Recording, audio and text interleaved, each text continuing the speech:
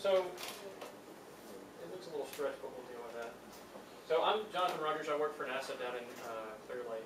So it took me about 30 minutes to get up here today. So it's pretty close. But uh, I work on Robonaut, which is this robot here, and this is the inside of the International Space Station.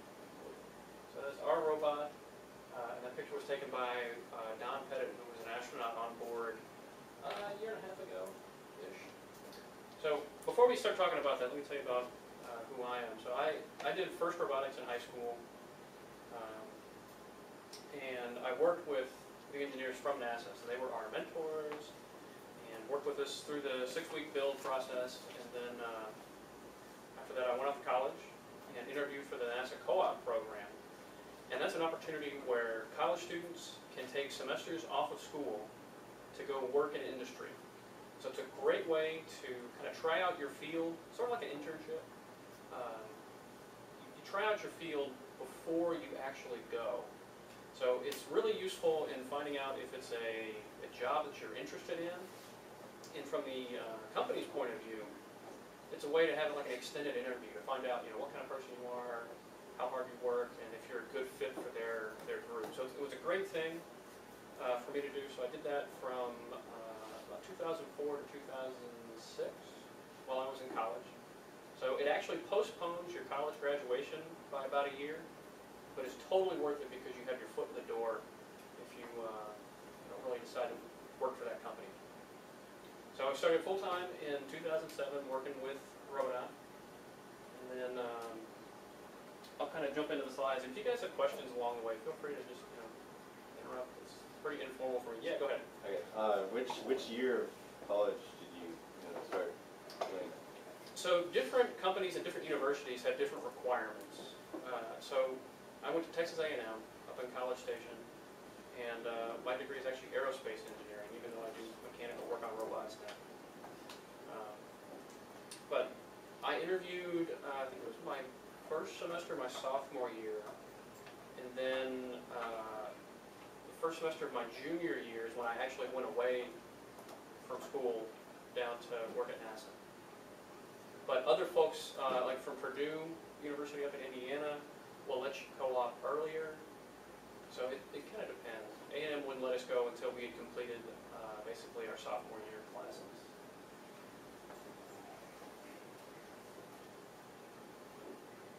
So anyway, um, some stuff today to talk about what we're doing with the robot on the space station. So kind of give you an overview of it. The whole point of a Robonaut is to develop a tool for the crew's use. So this is a, uh, a humanoid robot that can work side by side with people. And just think about the possibilities you have there. Uh, normally, robots in industry do things that are dull, dirty, or dangerous. We call them the three Ds. Because you know maybe it's a repetitive task that a human would get bored with. Maybe it's something dangerous like lifting heavy pieces of metal on an assembly line. Um, or dirty stuff like painting. So in an assembly plant, um, you typically have robots that do welding, painting, moving hardware, that kind of stuff. But those are very uh, well understood and known tasks. So if you're painting, you're going to do the same thing over and over and over, right? If you're on an assembly line. Now, a humanoid robot like this is able to work with the same tools that a human can use, and then um, you know, work side by side with them for things that are maybe less well defined. So our goals are to help crew members, whether we're working on the space station or exploring the moon or Mars or an asteroid, wherever the mission may take us, we see things that you know maybe don't require an astronaut's full attention. So, for example, one of the candidate tasks on space station is cleaning. Every Saturday morning, the astronauts have to clean their space station. It's just like cleaning a room. And I mean, I'm sure everybody here would love to have a robot help you do your chores. Right? Even you know people 200 miles above the Earth in the space station want that same thing. So anyway, um, we can also do potentially maintenance of things in space, so it's, it's really limitless. So this project started in uh, the late 90s, and you can see there's a whole uh, variety of robots that we've built. Um, the focus has really been on the upper body. So the torso, the head, and the arms and hands. And we've adapted lower bodies to the mission that we're going after. So if it's a, uh, a planetary type of surface, maybe you have the robot riding on an ATV sort of thing. Or if you, uh, you know, need to walk around inside a habitat, it have legs. So anyway, this robot, uh, the current generation, Robonaut 2, was built by NASA and General Motors. We were, uh, you know, looking for ways to continue developing on Robonaut, and they were also looking for folks to partner with to really advance the state of the art of robotics right now. So um, they sent some folks down. We we decided to work uh, at JSC, and that was the the first generation Robonaut. And here you can see the, the second generation. So our robot has 42 different degrees of freedom, which is pretty substantial. It's a big robot, weighs about 300 pounds. Wingspan is 8 feet, so it's about a Yao Ming. The, uh, the arms uh, are pretty big around, but they're smaller than what Arnold was at his prime when he was doing weightlifting. So we're like 99 percentile humanoid, but we're still human sized. So anyway, it's got a waist, it's got hands uh, that can use same tools as people use, uh, and then the the head has three different degrees of freedom, and really the head is just a, a sensor unit. So we've got cameras and uh, virtual rangefinder, so kind of like a Microsoft Kinect, stuff like that. And I got a bunch of cool videos. Assuming they'll actually run. There we go. Oh, perfect, thank you. So not only did we want to make the robot look humanoid, we want it to move like a human does. If you are working side by side with one of your classmates here, you basically know, you know, what areas to stay out of if they're working and doing things. You understand uh, a human's, you know, ability to reach. So that adds a level of familiarity.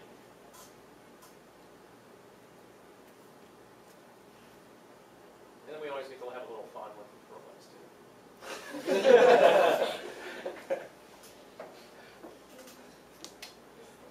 Yeah, go ahead. Is your program able to do that, or is somebody like making the movements? That's a great question. So we can control this robot a couple different ways. So we can pre-program things, we can write scripts and tasks uh, that are in a programming language that kind of looks like LabVIEW. Have you all used that at all? No, it's um, a visual programming language where you have blocks that go step by step by step. And it's really pretty simple to kind of build things, put them together. You don't have to necessarily know how to do uh, C code or Python or something like that to be able to program it. So it's pretty simple. Uh, and the other mode is where you put on virtual reality gear. You have gloves and uh, a helmet and a motion tracker, and you kind of like step into the robot. So we call that teleoperation. And that's a good way to, um, to have the intelligence of a human operator controlling a robot that can be in a very dangerous situation. So think about in a, um, a collapsed building or uh, like a nuclear power plant. If there was something that you need to get to and you can't program a robot to do it, it's a real cool way to accomplish it. How much can uh, the robot like lift or do something? Uh, let me see if I Power that one. Might have a video on that. So it can pick up about 20 pounds.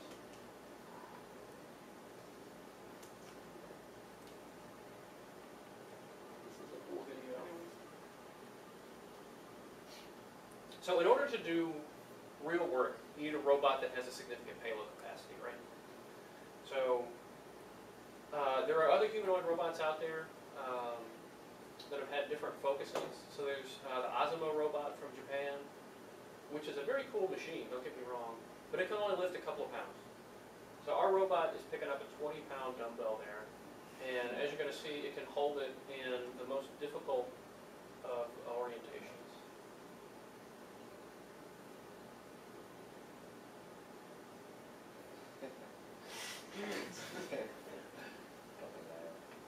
It's getting better.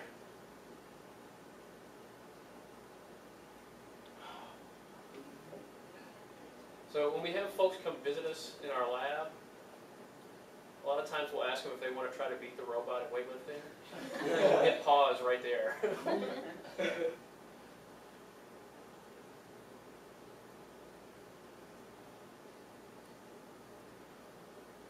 and it'll do that all day.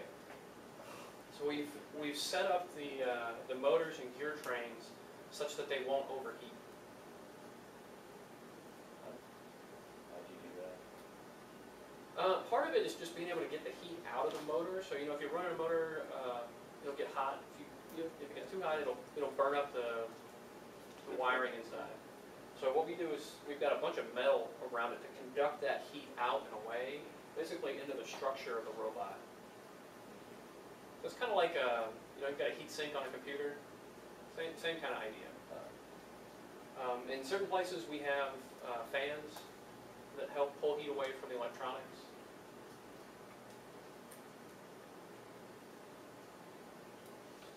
Is, how is it powered by, like, So the backpack, um, does all the power conversion. It, it plugs into the wall right now. so you have to charge it or something? No, no, so just, um, it has to be plugged in currently, but we're working on a battery. Yeah. So we're gonna have a giant lithium ion battery, uh, to allow us to kind of walk around the inside of the space station. Yeah, go. Um, can't you use, um, the solar energy from the solar panels to charge it? Sure. So actually, um, if you think about it, the one that's on space station is totally solar powered.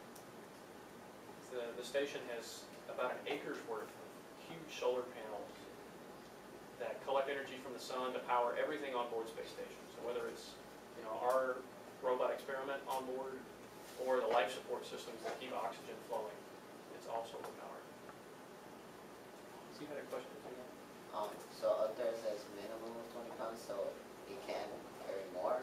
It can do a little bit more, yeah. Uh, the, the weak point is actually the fingers. And if you think about it, that's, that's where a human's weak point is too. Your upper arm is much stronger than, than the strength of your fingers. So if we, if we hold things in a favorable orientation, we can get more. But twenty pounds is actually a, a pretty usable Yeah. amount of weight. If you think about the heaviest things you would pick up on a day-to-day basis, it's about that, right? So, I mean, Come back.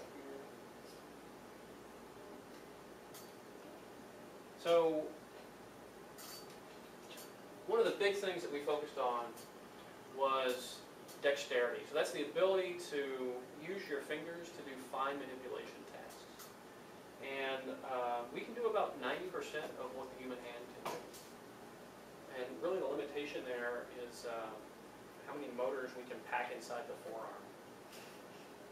So we, you know, as, as engineers, you have to understand trades. So for a, have y'all talked about this at all? Uh, I mean, through their projects and things, no. Okay, so, so generally, you know, you have to decide, well, if I want, in our case, this amount of dexterity in a hand, I need X number of motors. But I only have room for uh, sixteen. So our, our robot has sixteen motors that control the, the motion of the hands. And that's just the most that we could shove into a human-sized volume. So we could have done more, it would have been bigger, but we decided that the added value, that last ten percent of what the human hand can do just wasn't worth the, the extra work. Does that make sense? So this is a- another good video of what, uh, what the robot's hand can do. And this is all pre-programmed. So This is the robot knowing where this knob is, reaching out to it and trying to rotate it. So you can see the fingers are all working together to do that fine manipulation task.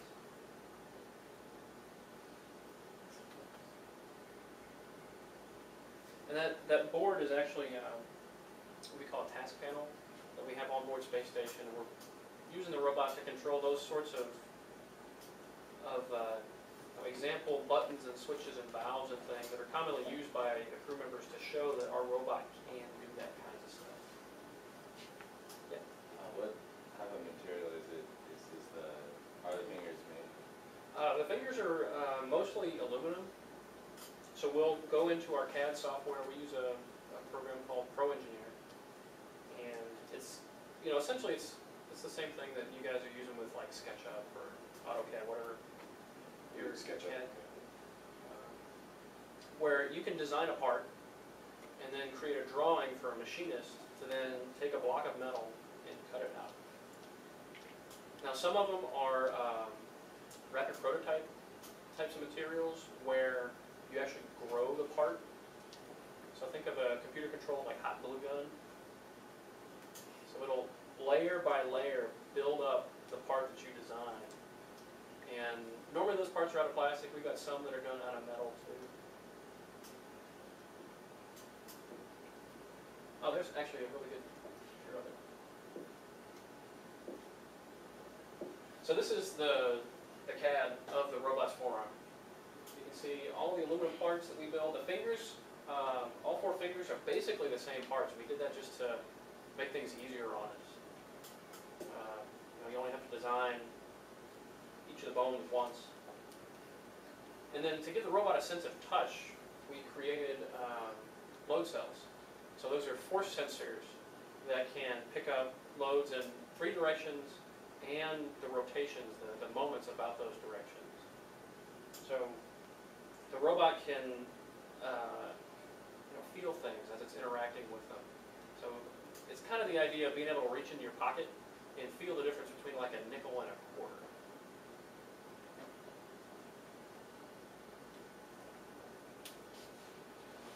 Now, one of the cool things about this robot is that we have force control. And don't necessarily worry about all the details here, but the, the point is that we have a spring in line with each of the actuators. So we understand the characteristics of that spring, we know how strong they are, and we can look at how far that spring is moving while the robot is being controlled. And that tells us how much force each actuator is outputting. So what do you think you could do with that, with that piece of information? Go for, what now? Improve the robot. So what it allows us to do is understand how hard the robot is pushing on something. So I told you that we wanted to build this robot to work side by side with people. So in order to do that, you have to make sure that the robot is safe. And by giving the robot a sense of, of touch and a sense of uh, how much force it's outputting, we can limit that force and say, if I'm working next to somebody, only push with 20 pounds. And that's, that's a key technology to letting a 500 pound or 300 pound robot, however, you know, big you want to make it, work safely next to astronauts that are on board the space station. Because if they get hurt, you know, they're, they're hours away from any kind of help.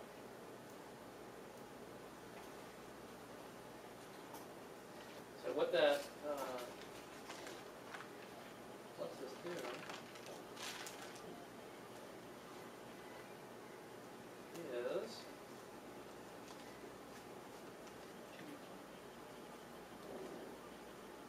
Can it talk? actually, no. We didn't, we didn't give it any speakers. But it can definitely, you know, post messages to the operator console. and, uh, We'll, we'll let the computer that runs it talk. But here's an example of limiting forces. So you saw it just did the, the strongman motion. And now, uh, our project manager is gonna step in the way. So the robot is still trying to do what we told it to do, but it realizes that something's wrong. And it should stop and, you know, wait until whatever's in the way is out of the way. And you can do that at any point. The robot knows that it needs to wait until that stuff is out of the way before it can safely proceed.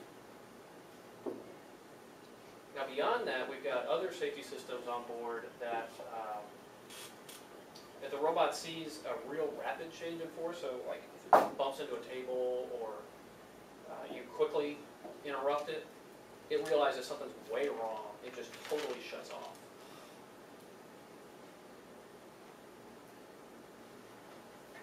So are there sensors all over the robot? Yes. So we've got them um, in all of the joints of the arm. Uh, we've got cameras. We have uh, an infrared depth finder sort of sensor uh, inside the helmet. And you were asking me about how we program it earlier. This is a, a picture of the, the piece of software. So you can see that there's there's blocks that move step by step with arrows, and we control the, the flow of the program based on input from the robot. So for example, if it sees something that it wants to grab off to the right, it'll realize I should probably grab that with my right hand. Using the, the sensor information that's available to it, we can program the robot to make decisions on its own. And it's pretty simple. Yeah. Um, can it like detect things that's outside of the space station, like let's say like a solar flare Well, not yet, but that actually brings up a, another concern that we have to deal with. You know, on, on the Earth, uh, the atmosphere protects us from things like the solar flares. So when we made this robot to go to space station, we had to take those types of things into account. Electronics can be highly susceptible to things like solar flares. So, um, if there's one, it can affect the power grid, it can affect, you know, different things here on Earth. And since we're up above the atmosphere, we have to make sure that the robot won't do anything stupid if the electronics get hit. So that was really challenging. We had to add a lot of layers of programming to make sure that the robot understood if something is way wrong to just stop. But right now, it just, it's able to see things in its environment, and if it recognizes them, it can interact with them. Uh, for example, we've got um, a drill that the robot can see. It's just a, it's a DeWalt drill that's kind of, uh, it's a very specific black and orange yellowy color. The robot knows, I'm looking for this specific color, and it can tell how to grab it and interact with it, that sort of stuff. And here's a good picture of the, the teleoperation y'all were, uh, I was explaining earlier. So, our operator here has gloves on that have sensors in the fingers.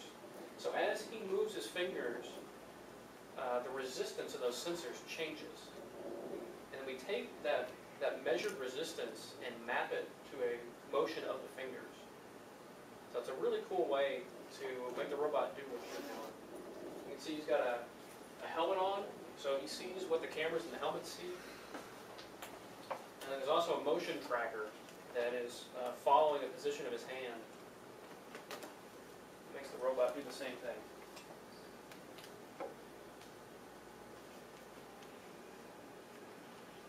So, this was an early picture of uh, what we wanted to do with the robot on space station. So it's just on a, a simple uh, leg here. But later this year, we are actually going to send legs for the robot to walk around the outside of space station. Let's see if I got that video. No, nope, I don't have it yet. Oh, there it is. Okay.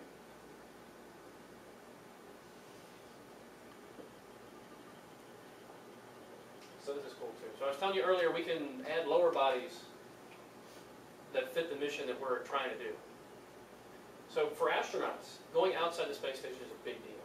They've got to put suits on that protect them from the vacuum of space and the huge temperature changes inside or outside the space station.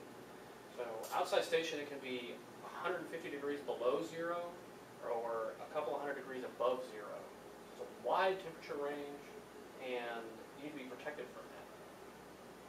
So if we have a robot on the outside space station, which is our ultimate goal for this project, you can have the robot take care of some of the simple things outside that maybe don't require a human's full attention. Uh, we also see you know, the robot as a team member. Uh, when astronauts go outside, uh, they always go in pairs of two, and that allows them to, to be safe. If somebody has a problem, which actually happened a couple weeks ago, uh, there was a water leak inside one of the astronauts' uh, spacesuits, and uh, his other crew member was able to help him get back in before it became a problem.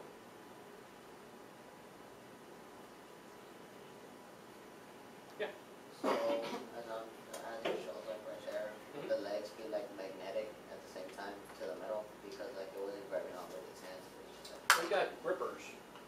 So instead of feet, it's got uh, clamps that grab onto handrails that the astronauts use to, to climb. You can kind of see it. So pretty simple, but it has to be strong enough to support the weight of the robot as it moves around. What would happen if the robot misses where to step and it just floats out in space? That would be very bad. so we, we are working very, very hard to make sure that doesn't happen.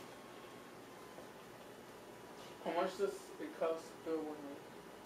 So the torso, for just the parts, we put in about two and a half million dollars. So while I agree that sounds very expensive, um, think about if, you know, the robot did come loose somehow, or it was doing a dangerous activity and it was broken. You know, a human could be seriously injured or killed in that situation. And while I would be rather disappointed if something happened to my robot, um, it's still not a human life. So, And plus, we, we've only built a few of these. If we were building them cons- constantly, we could save a lot of money. Um, when it's in space, like if it, if it, like, if it lost its grip on some, on something, uh, you know how on, on, I don't know if I'm, if I'm being correct, but like on, on, uh, space, like, the shuttles, the, the things that are in space, they have these little, these little holes that shoot out. Huh? Yeah, so the, the crew members have, um, a rescue jetpack, essentially, attached to their spacesuits. So, actually, as the crew moves around the outside of space station, they're constantly tethering themselves.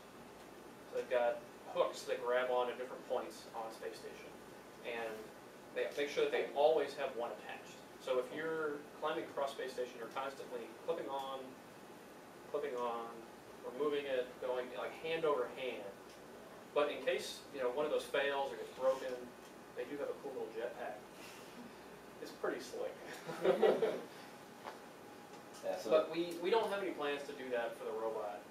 And, you know, we're, we're talking with the, the safety folks for Space Station about, you know, do we need to be tethered as we move along? Or have we designed the grippers well enough and safe enough that we are absolutely confident that it won't come loose and, you know, potentially Space Station? That's a bad thing. I think I'd be looking for a good job. So when- it goes out on the walk, how's it gonna be powered? Is that gonna be the? Battery. Is it gonna be battery? Yeah, so we're, we're replacing the current, you know, wall power backpack with a giant battery. It'd be pretty cool to see it walking around untethered.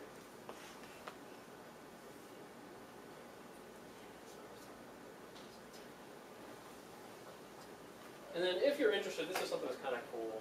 Um, we have a simulation that's publicly available. So there's a, a new uh, software effort in the robotics community called ROS, it's Robotics Operating System. And essentially open source software that allows anybody on the internet to go out and basically get a free robot control system. And you can grab components that fit, you know, your specific robot. So if you have uh, a robot that's got a pincher, there's something that you can grab and basically put it together to, to fit your needs. And one of the products that we put out is uh, a simulator. So this is a model of the inside of space station, and you can control it. And uh, what we're really looking to do with this is partner with universities. So there's a lot of great research going on on uh, grasping or path planning. So if it's walking around the outside of space station, the robot has to be able to figure out how to get from point A to B on its own. We- really don't want to program every single step. So with something like this, we're going to be able to, to leverage research that folks have been doing from places all around the world. And then the robot also is on Facebook and Twitter. Um, It will, we say it, but it's actually, it's our public affairs people that, uh, will have the robot tweet from space and talk about what it's gonna be doing for the day. It's, you know, it's something cool. Every now and then they'll do, um, uh, sessions with classes. So, um, I've done, uh, sit downs where, you know, we're on, we're on Twitter and we'll answer questions about how the robot works. So it's, you know, it's being able to do something like this, but with a school that's a thousand miles away. That's, that's cool stuff. How am I doing on time? Alright, fine. Good, okay. And then some of the other things that I want to show you are spin-offs. So we've got this really cool robot that does a bunch of things. But, you know, as, as we said earlier, it's kind of expensive and uh, it's a big robot. So what can we do with the technology and the, the skills that we've developed with this robot to, um, to more easily and quickly help people? So one of those things is what we call RoboGlove. So we took the same motors and gear train out of the robot's forearm and applied it to a glove that you can actually wear. So it actually is able to help you uh, grasp things more firmly or more easily. So uh, you can control it such that um, if you're wanting to hold on to a device, uh, well, let, let me explain this real quick. So, our, our colleagues at GM are looking for ways to make uh, people on their assembly line more comfortable. So they do the same thing all day, every day. And the problem you can encounter there is repetitive stress injuries, things like carpal tunnel and when, when people on assembly lines are hurt, it leads to them not being able to do their job as well, and that leads to a, a poor product.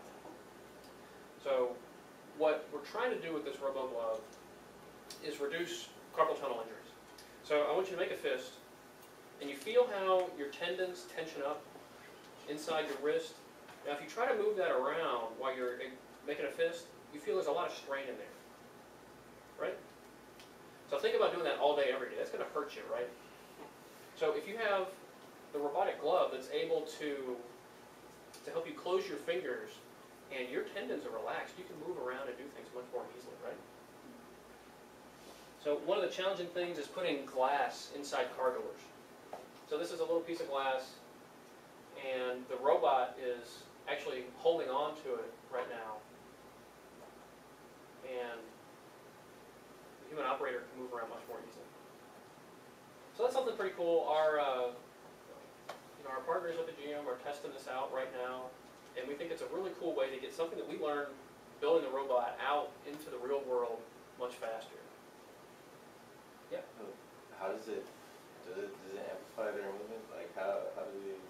So it kind of follows along. There's a, uh, a force sensor in the fingertips. So when you grab onto something, uh, the little controller board uh, will uh, trigger the motors.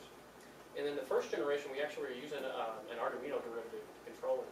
So the stuff you guys are doing today is very, very relevant. And then one of the cooler things that we've come up with is an exoskeleton. So I mean this, you haven't figured it out by now, piece by piece we are building the Iron Man suit. so um, this is a wearable robot, you know, just like the glove. And what we're really looking to do here on Earth is help people uh, that have uh, injuries like where they can't move their legs, or maybe aren't uh, strong enough. So if you think about people with muscular dystrophy, things like that, where they just they can move, but maybe don't have the strength to move well. This is a huge payoff. So it's basically um, the arm actuators, you know, repackaged into something that you wear on your legs. And then for um, for NASA, what we interest, what we're interested in doing with it is letting astronauts wear it. So in space, you're weightless, right? So the human body is conditioned to you know, always be supporting your weight, reacting, you know, working against gravity to do things. And over the course of like a six-month stay on space station, astronauts typically lose a lot of bone density and uh, muscle mass. So when they come back, they have to spend a lot of time, basically in rehabilitation, learning how to use those muscles again and build them up. So to try to combat that, onboard space station, there are huge exercise devices uh, that you know, let them do leg lifts and bench presses and all these different things to try to maintain muscle mass. Because as we move further and further away from Earth, as we try to explore the solar system, your trips are going to get longer and longer. And eventually, when you land on Mars, you're gonna want to be able to get out and walk around, right? You don't want to just kind of sit there and look out the window, go, this is cool.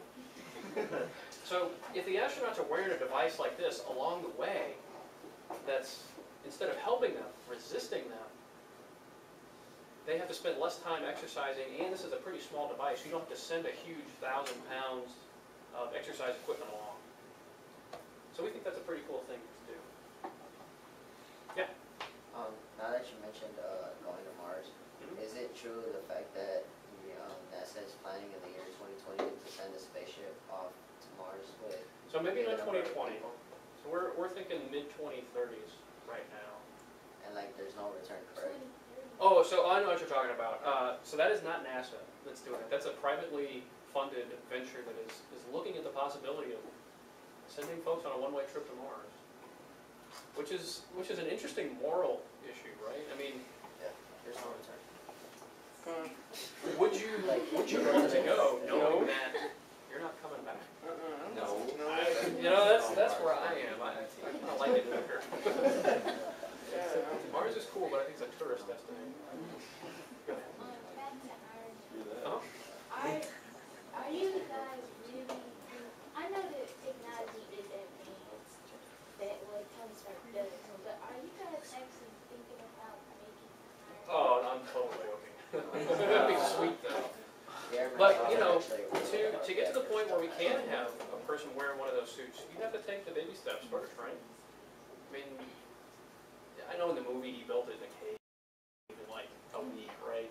But in the real world, you have to build up these things step by step and, and learn little by little what you're, what you're doing. So, you know, there's a, a variety of folks working on exoskeletons and things like this around the world. And, you know, think about how great it would be to, um, to have a soldier, you know, walking through rugged terrain wearing an exoskeleton like this to help carry his supplies and, uh, you know, medical equipment, things like that. So we're getting there. I think I got a video of the exoskeleton. Yeah, there you go. So that's it, just moving on its own. And then another cool thing is that you can have a, uh, a computer connected to it, and you can monitor the movements. And uh, this gentleman is a paraplegic. Uh, we're working with a group in Florida who uh, is interested in using this for rehabilitation purposes. So uh, I believe he hadn't he hadn't walked in years, and walking is important. This, is an astronaut who flew on one of the last shuttle missions. He was kind of evaluating it for us from a, you know, an astronaut's perspective. You know, is this something you'd be interested in? But back to the, the gentleman who hadn't walked in years, you can see that we have support things helping hold him up, and he's still got his crutches. But the, the physical benefits of just standing upright and allowing your blood to flow and uh, some movement are astounding. Are you thinking about making it smaller? We would certainly like to.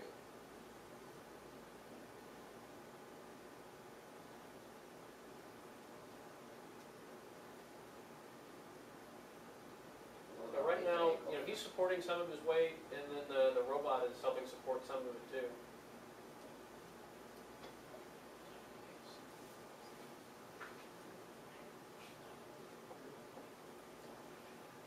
So anyway, I got a few more minutes, I think, for, for questions and stuff. If you guys have thought of anything else? Yeah. Um, back on its own operation, Mhm. are you guys, would you like for them to have like, them control it with using brainwaves? So that's something we're looking at. Um, it's challenging though, because you have to kind of train the, the machine that's reading the brain waves to understand what you mean.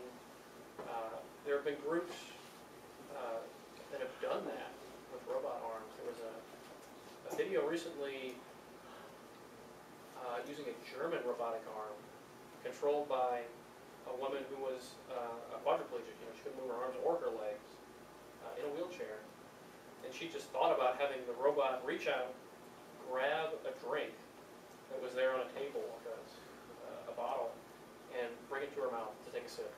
It, it's outstanding. I mean, to think that the technology exists. But that, you know, that I believe was embedded in her brain. So there was surgery required to plant the electrodes and things so it may not be the right thing for, for everybody, but, you know, it's definitely something we're looking at. So any other NASA questions? Robotics questions, a lot Robotics. a lot of your interested in robotics. That's what people make with androids. Mhm. Isn't that, that's what android? So I've always been fuzzy on, so we call it a humanoid. I mean. I've always been fuzzy on, you know, what's the real difference between android and humanoid?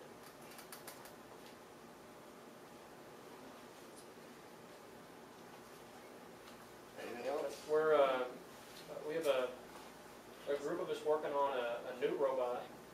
It's taking what we learned in Robot and applying it to, um, a DARPA Grand Challenge. So that's, um, DARPA is the Defense Department's R and D group.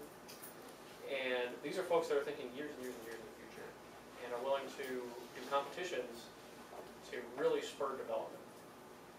So we've got a group working to build a disaster recovery robot right now. And this idea came out of the um, recovery efforts for the, the Fukushima nuclear power plant disaster. Remember a few years ago, there was the earthquake in Japan that took out the nuclear power plant? And the recovery folks, you know, looked around the world for robots that could help them go in, uh, one, assess what's going on, how bad is it really? And then two, try to change that, so, you know, were there valves or switches or things that need to be, um, actuated to try to get the, the plant in a safe configuration? And those technologies just didn't exist. So right now, there's groups around the world working on this challenge to build a robot that can walk into a hazardous environment and, you know, look for people that need to get out or, uh, try to turn off, you know, a, a nuclear reactor that's malfunctioning. So things like that, uh, are definitely coming down the pipe.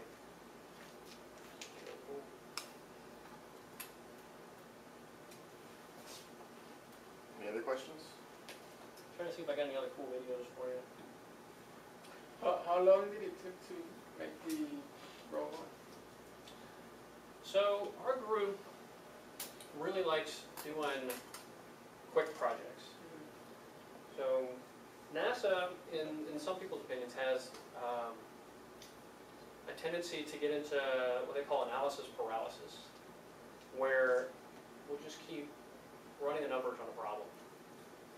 And in some cases, that's correct, you know, because if you have a rocket that costs a billion dollars, you want to get it right. But for us, um, we're willing to quickly develop an idea and build on it.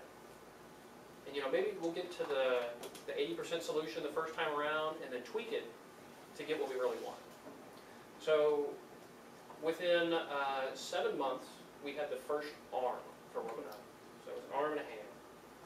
And then within eighteen months, we had the whole robot.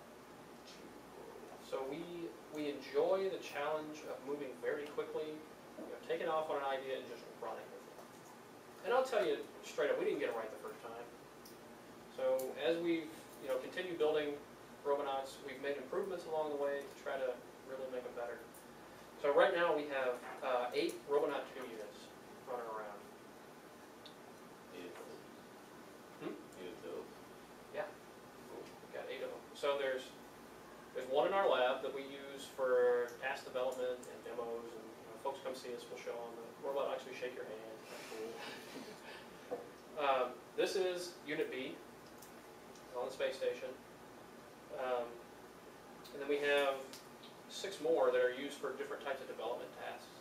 So, uh, in order to safely uh, operate the robot on space station, we have to thoroughly check out everything that we do on an exact copy on the ground before we ever think about sending the new software up. So that allows us to, to, you know, be certain that the safety systems still work when we make a software change, and, you know, the robot's not gonna punch an astronaut, or anything like that. Punch a hole through the side of space station. That'd be a bad day. So we've got an exact copy, And then we've got, um, one with our, our teammates up in, in Detroit. We sent them a robot. So they're looking at, you know, ways they can help their factory workers. And then we've got four more running around that we're doing task development with and trying to make it better. How does your aerodynamic degree tie in with making a robot? So that's, that's a good question, and, um, it, it sort of proves a point about engineering that really, when you go to school for engineering, you are learning how to do the problem solving. So, you're learning, what do I need to analyze when I wanna build a robot? Well, I need to look at the strength of the materials, and how to build the power systems, and the sensing, and all that kind of stuff. So, while my degree is aero, I, I use some of those skills, like I don't use the aerodynamics and things like that that I can use to build planes, but, uh, like the materials are all the same, so I need to know how to analyze a part. Whether it's aluminum or steel, I have to be able to decide which material to use for the, the amount of strength that I need in that part. So all the skills that you learn in engineering school are pretty close and you can translate across things pretty well. Now that said, on, on this project, we have uh, mechanical engineers, which, which is really what I consider myself now. Aero is a very specialized form of mechanical, in all honesty. Um, uh, we've got mechanical engineers, we have electrical engineers who design all the electronics and sensors and bring them together to actually, you know, make a finger move or an arm move. And then we have computer engineers and software engineers who write the, uh, the code to actually make the robot do what we want to do. We've got a, a very diversified team to, uh, to help us build something like this. I remember earlier you said you, uh, you wanted the uh, robot to make decisions on its own, like how to get from point A to point B, how, how do you do, how do you do that? So that's actually a topic that's, that's really hot in robotics research right now, is how do you design a robot that can be dropped in a, a situation and immediately know where it is and how to get to where it needs to be. So there's some cool technologies out there that, um, are using things like the Microsoft Kinect, have you all seen one of those? That's kind of a motion tracker thing. So instead of using it to do motion tracking, it can survey the environment in front of it. And for us, we'll be walking on the outside of Space Station where there's handrails. So we'll, uh, we'll need to train the robot on how to uh, identify those handrails and how to get from A to B. So there's a lot of work going on in path planning, and that's relevant for, uh, you know, a robot that we want to climb or across the outside of Space Station. But think about a, a robotic car. Uh, Google has been working on that with uh, some researchers at Stanford. And they have lasers and things that can sense like a rock in front of it and realize, I need to drive around that. So, at the high level, you know, what you want to do is pretty simple, the implementation is pretty hard.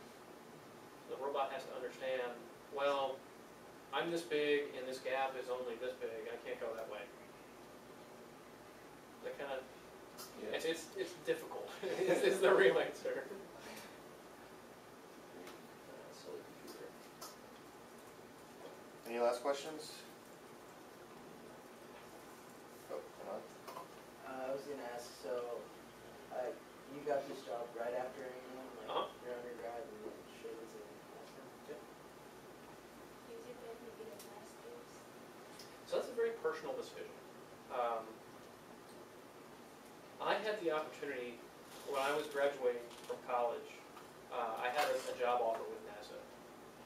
And I decided to take it because um, at that point, the economy was kind of recovering from the, the first recession in the early 2000s. And, you know, I saw a job, I was going to take it. And I was kind of tired of school too. but um, my, my roommate, you know, has stayed at A&M and he's wrapping up his doctorate right now.